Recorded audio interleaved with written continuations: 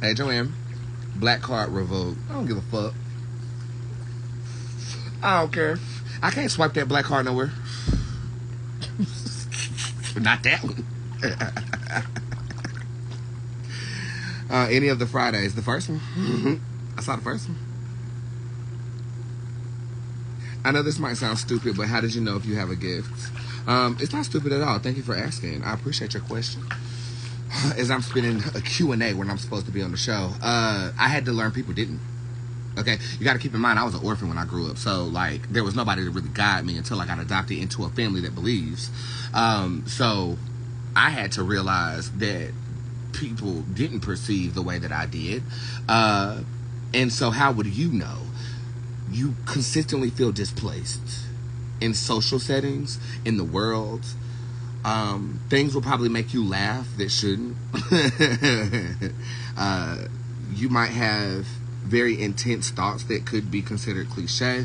Nine times out of ten, you're a black sheep. Am I talking about anybody? okay. Um, the big word is displacement, though. You feel out of sorts. Uh, and I did want to talk about this um, on the show. Uh, and I'm gonna talk about it right now because I feel like it's uh, it's, it's, it's pivotal it is uncomfortable being a spiritual being having a human experience. This is why we moan and groan when we wake up and we become rebodied. Okay, um, sometimes that can be curved with excitement, like Christmas morning when you know uh, that this physical realm has gifts for us. Uh, but it is very uncomfortable for inherently spiritual beings to be in the flesh. Uh, we find comfort in our dreams. We find comfort in zoning out. We daydream a lot. Deja vu is all over the place. I mean, we look at things a little bit different, and um, we have to consciously try to feel normalized in the flesh. Okay, um, I use affirmations, meditations to try to become more embodied. Uh, but to answer your question, it doesn't have to be uncomfortable. You have to treat your body well, and that's one thing that I have lacked. I have.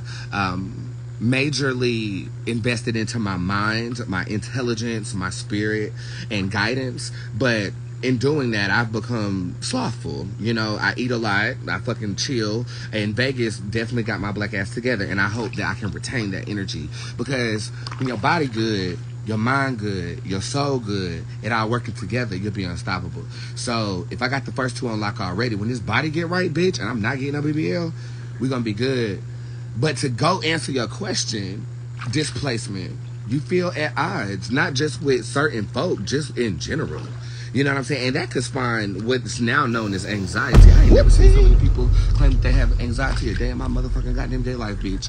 But that's because people are waking up. And they're feeling uncomfortable with where they are. Okay? Understand? It makes sense, right? Yeah. So, how do you know if you have a spiritual gift? The first sign is displacement. I'll say the second sign is that uh, what you're told to believe in doesn't resonate with you. I don't care if you grew up Muslim, Christian, pagan, whatever. What you've been told is truthful doesn't doesn't fully resonate with you. That doesn't mean because what religion is to us is a key that opens a particular door to spirit. In my belief system, all religions lead to the same God. Okay, so I don't give a fuck what you are. You know what I'm saying? I can read you whether you worship the devil or you worship Archangel Michael. It don't really matter to me. Um, but it, as a as a as a as a person who is gifted, all the doors make sense. Therefore, I consider that oracleism. I can walk through a Buddhist door the same way I can walk through a Christian door.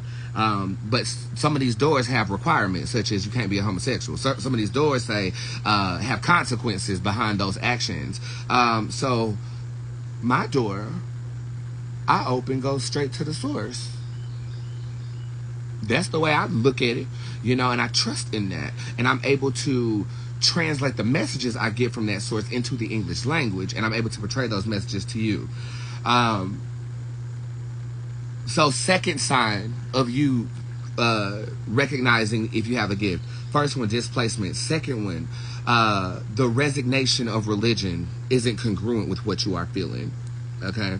The third one is you are sensitive. Mm. And it's typically sensitive to everything or particular things. I don't cry at movies, but I cry in social situations. Okay, like New York said, it's an inner cry bitch. Okay, like I, I, I'm very emotional. I take things to heart a lot. I've gotten really good at being conscious of that. So what Bootz does is Bootz is boisterous over that sensitivity. Um, but Brandon cries. He be crying. I very sensitive, but that is kind of tapered with some of the practices that I have too. Um, you know, a lot of that energy is redirected back into you guys. So if I'm extremely mad or sad or whatever, I try to convert it to being creative. Um, and I'll say just as an extra thing, we got the three steps of, of, figuring out if you're spiritually gifted. But the fourth thing would be you have a phenomenal talent in some way okay, uh, you're an artist, you're a writer. Some some black sheep's talent goes untapped, and you'll never discover what it is in this life because of the way that the world has nurtured you as a spiritual creature, being in physical form.